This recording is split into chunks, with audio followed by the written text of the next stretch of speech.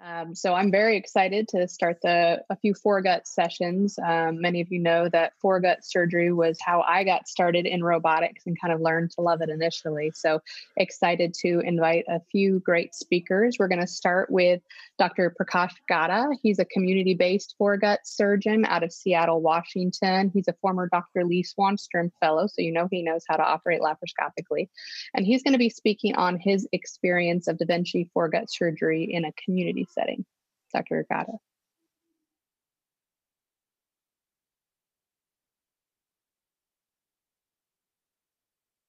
Ladies and gentlemen, this is Prakash Gatta coming from Seattle, Washington. I'm currently in an undisclosed bunker somewhere in the Seattle region, but uh, feel free to text me if you want to send me a care package or something.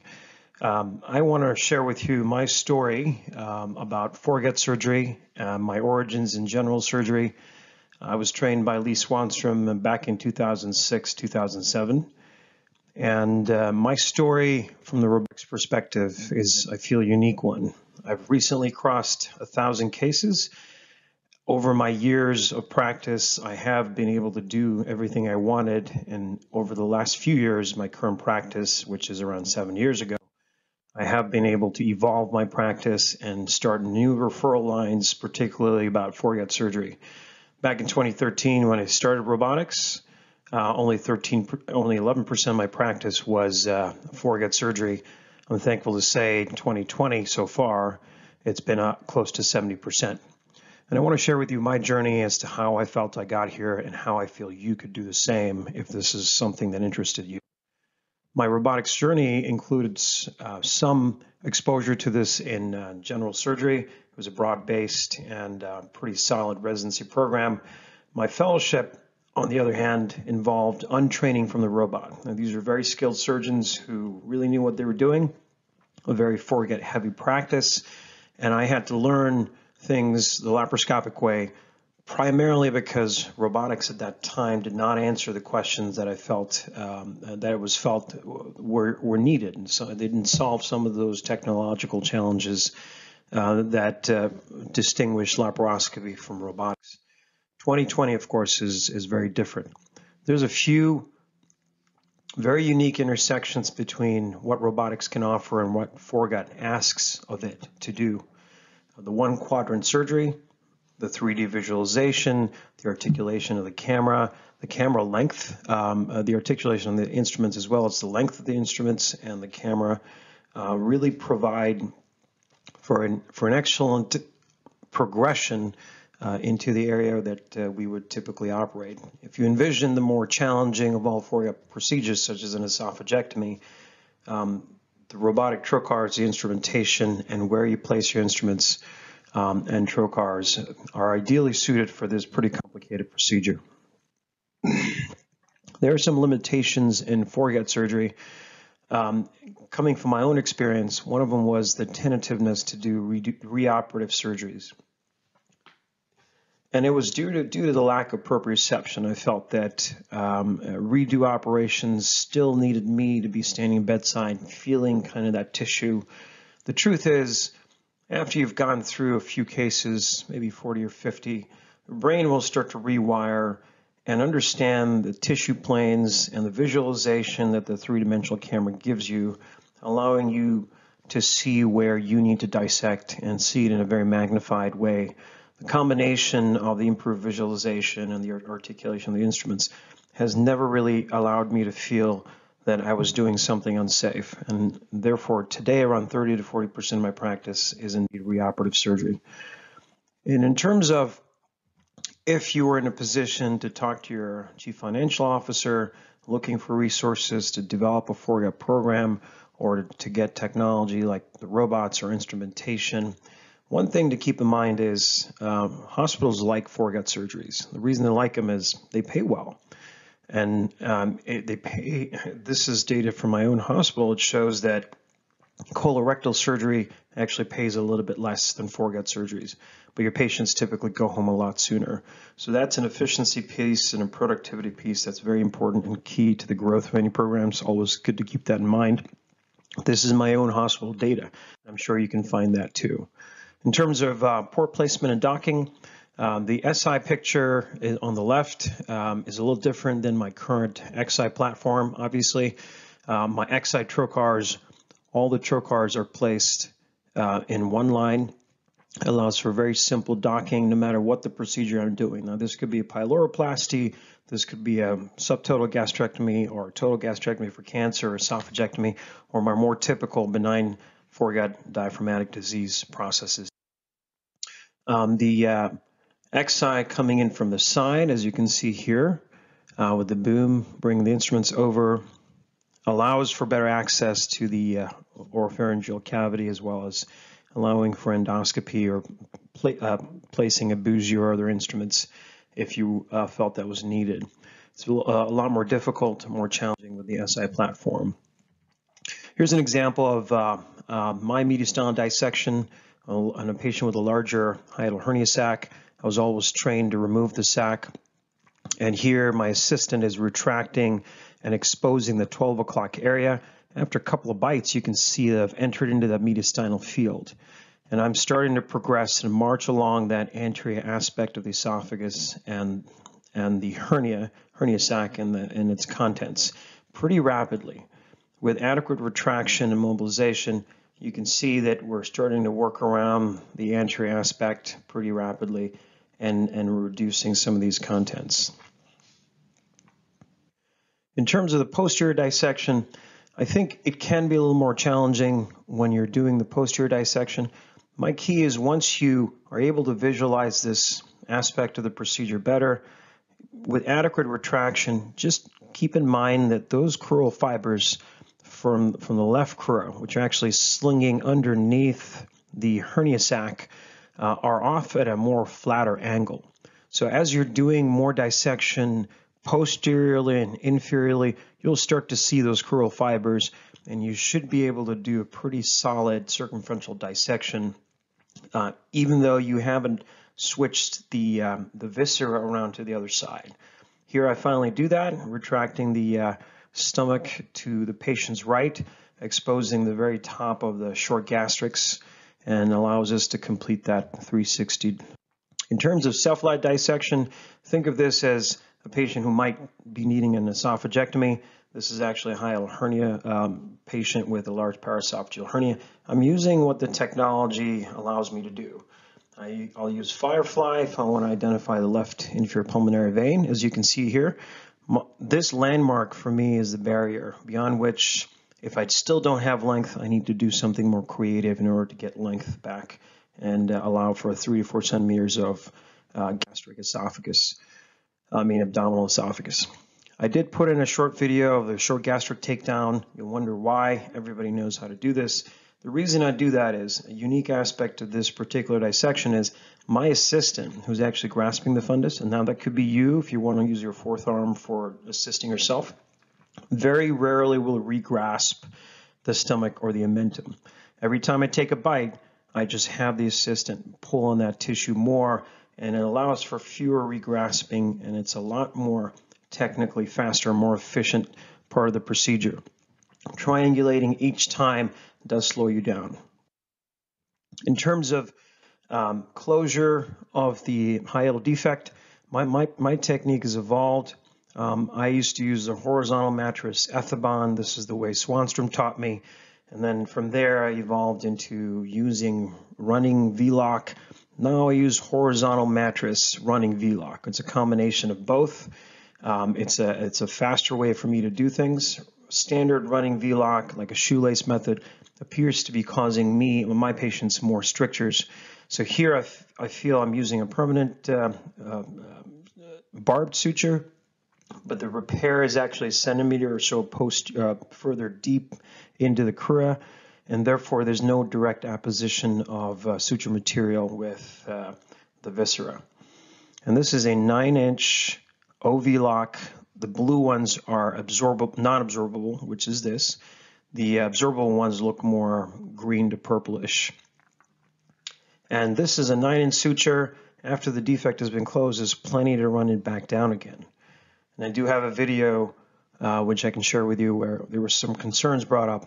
Is this ischemic enough? Uh, are you causing ischemia?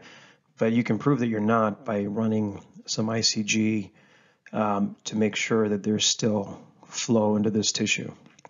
In terms of fundoplication, everybody knows how to do a Nissen. Doing it the Swanstrom way, which is nine to 10 stitches. This is one, one uh, such iteration. Um, as the fundus is diving underneath the GE junction, I'll take a bite at the very top of that fundus through the mesh if I'm using it, take a little bite of the um, left side of the esophagus through the crura and bring it back down.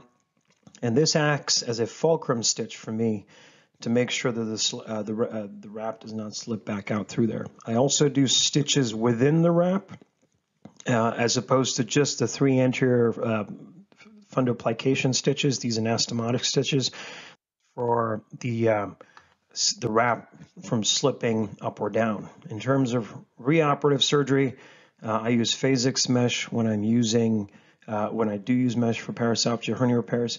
You can see the viscera coming off that uh, um, the, the seprafilm side of that mesh fairly easily.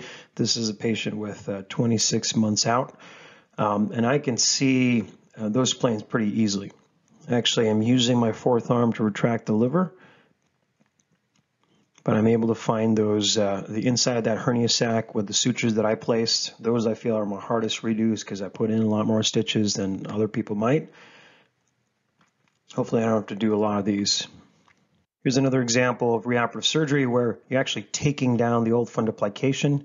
I'm verifying the uh, vas uh, that I haven't devascularized or taken down the left gastric artery in the process, identifying those vessels using technology, and using my vessel sealer, which is a fairly blunt dissector, fairly safe dissector, I'm able to find out where the old anastomosis is, where those old stitches are, without making holes in the stomach. In this particular case, I converted a uh, Nissen into a Toupet. This is a unique uh, post-op hernia from a patient I did an esophagectomy on around nine months ago. That's actually the gastric conduit going way up into the chest where it's supposed to be. This is a giant defect. The patient presented to the ER with small bowel in his mediastinum.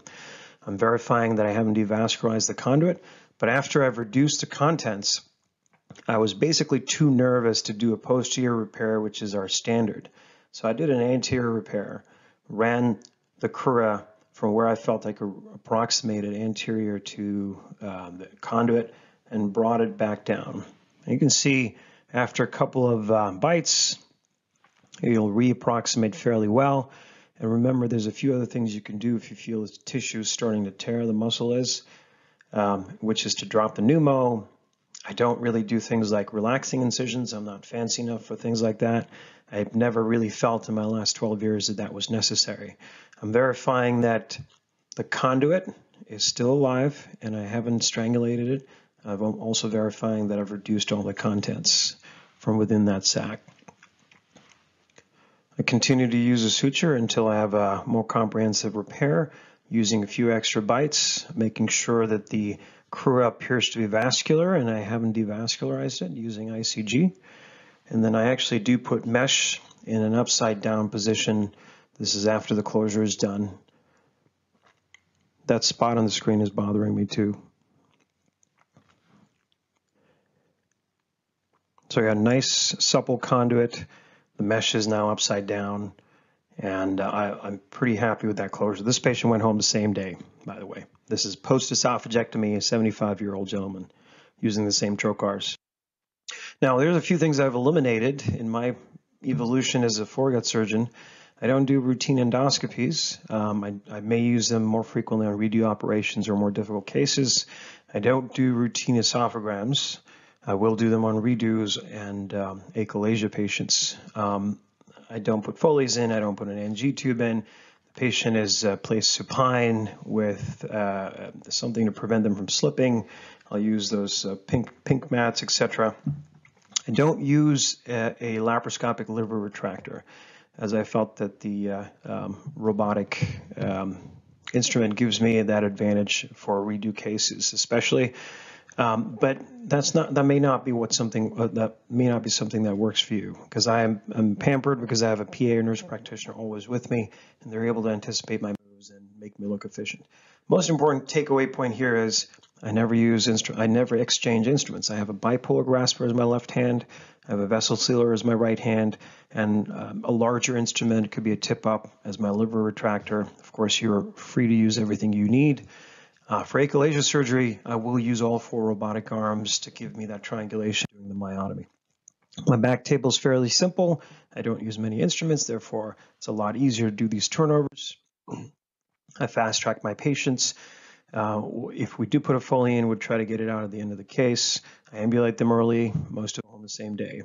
In terms of my operating time, my uh, this is five-year data. Uh, my own data shows that I'm a, I'm a better surgeon than where I was five, six years ago.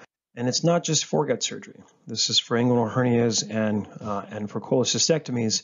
My uh, my efficiency is across the board, and it may or may not have to do with the robot, but I think it does. In terms of length of stay, I've been able to shave off at least a day and a half to two days length of stay for my hiatal hernia cases. And that goes with redos as well. You can see here in my 2020 data, my median cut to close time is under 80 minutes for a redo operation. And I do a fair number of these. Same goes with my length of stay on my redo patients as well. So how do I quantify this? Um, if, you to if you were to convert this into dollars, this is a conservative number. And if you were to use $21 per minute of anesthesia time and how much more efficient you are as a surgeon, um, let's say I operate for 60 minutes less to do the same operations I did six, six to seven years ago, as well as my mean length of stay is at least a day or two days less, that translates into real money.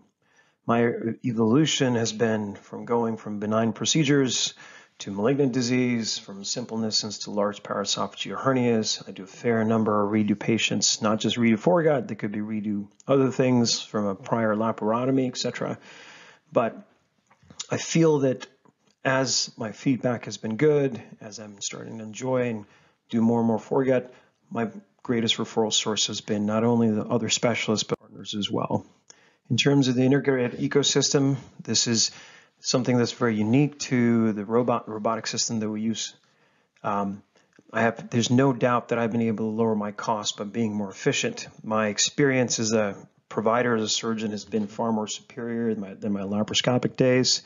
Um, my patient experience has improved. My patients going home the same day and their return to work is far faster. And my better outcomes um, uh, is something that I'm very proud of. Patients are returning to work. Uh, my follow-up in general has uh, shown a very low patient rate.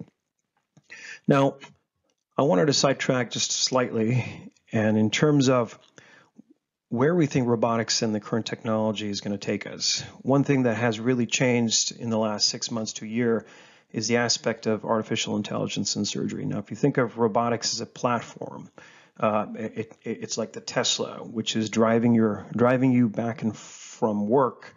Artificial intelligence is a way to compute data that it collects every day and to be able to translate that into better outcomes with the surgeon always piloting this plane, um, the technology and the analysis that it may be able to provide you on a real-time basis can and will make you a better surgeon.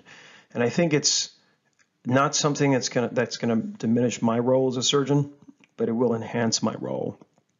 And I really think that allowing for robotics to teach you or to teach others something that you do well will really enhance and um, uh, further the evolution of surgery to our descendants.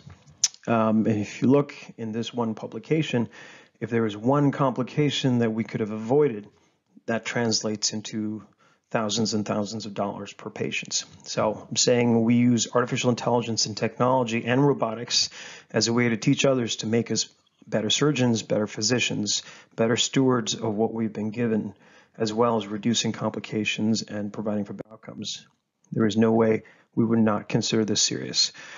My total practice pathway started the way most general surgeons do, which is to start uh, doing inguinal hernias, gallbladders, or racking up some of these cases, essentially converting my daily practice into a robotic practice. And it is through that that I've been able to accomplish and reach my passion, which is foregut surgery. I don't do bariatrics. And I work in Seattle when I first started here, there was three well, very well-established foregut practices that already existed, and it was hard to change those referral patterns. But my numbers uh, rival those of the largest Seattle hospital systems. My mission statement is pretty simple. I want to open the door to democratization of surgery, which means allowing for everyone else to be able to do what I do and for me to learn from them. Similar platforms and technology would allow that to happen. Robotics will be the standard of care, and I want to be one of the standard bearers to relay this message because I believe it's true. I want to utilize intraoperatively collected data as a predictor of better outcomes and to make that uh, a way to learn. I want to empower the protection of my practice, my patients, by being involved in the evolution of surgery and technology. Um, I really hope that um, you guys have enjoyed this talk. I've really enjoyed the opportunity to give this talk. I hope we can all stay safe in this trying time. We will all get together and we will all meet again soon. Thank you so much. awesome talk, Prakash. I really enjoy watching your videos. I've actually already watched that presentation several times because I thought it was so uh, useful. A lot of great tips in there. I love that you pointed out the foregut culture specifically. Even of those that have adopted robotics, meaning those uh, foregut surgeons, the most common approach is often to argue the use and the benefit in complex and revisional cases only. So, first, my question is what are your thoughts on this? And second, if a surgeon wants to tackle robotic foreguts, is there a general progression that you recommend? That's a great question. So, so thank you for your kind comments. Now, I, I want to answer the last part of your question. If you look at that one of those slides where there's like an ecosystem or a tree, I think my foundation in robotics was a lot of bread and butter general surgery, gallbladders, hernias, ventral hernias, um, and, and I worked that skill towards my passion of foregut. Uh, and, and, so I think it's a good it's good to have a good foundation because it, it, does a few things.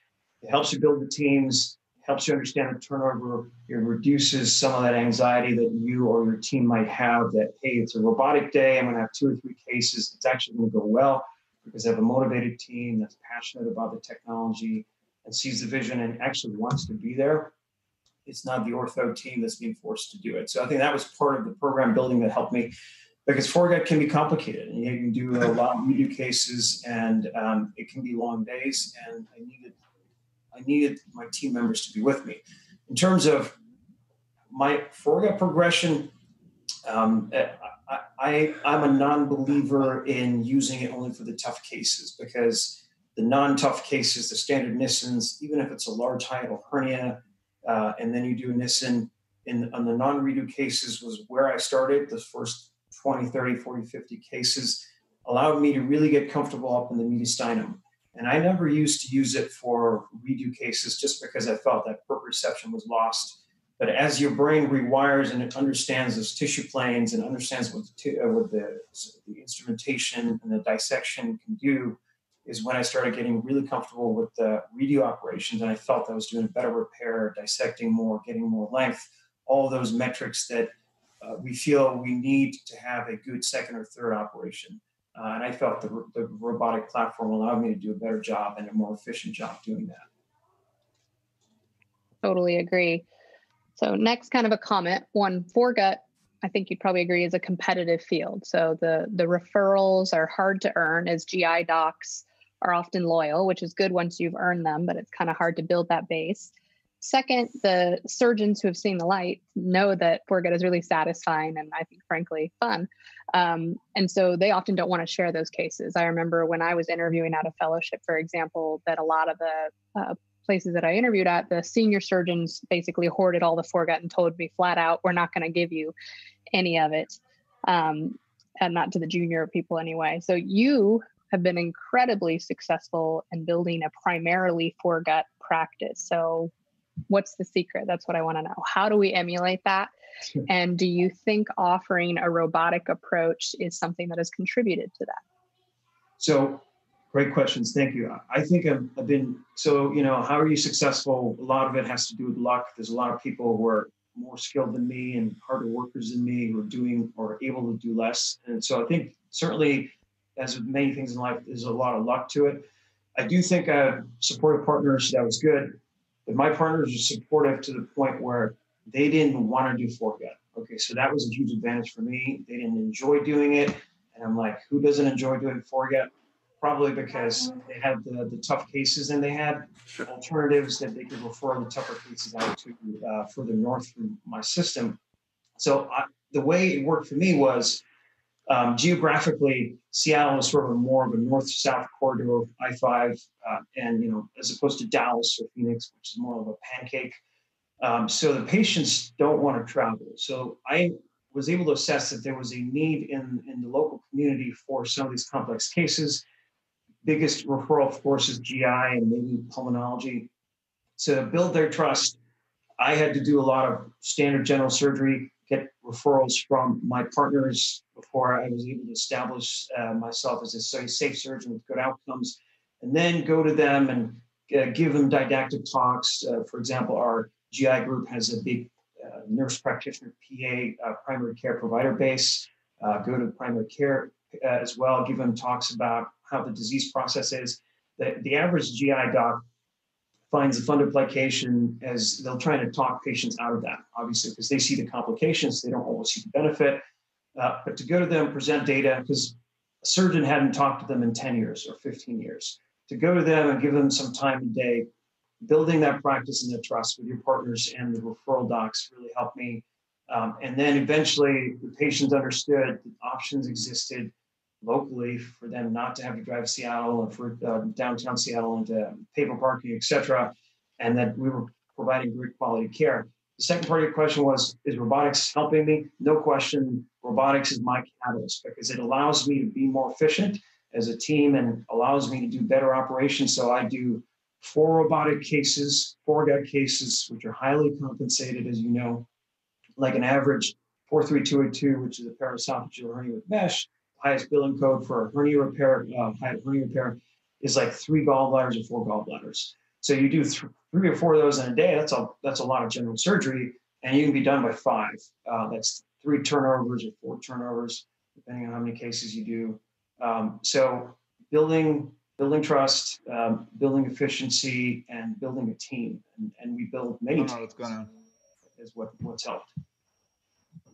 All really great tips. Thank you so much for joining us today.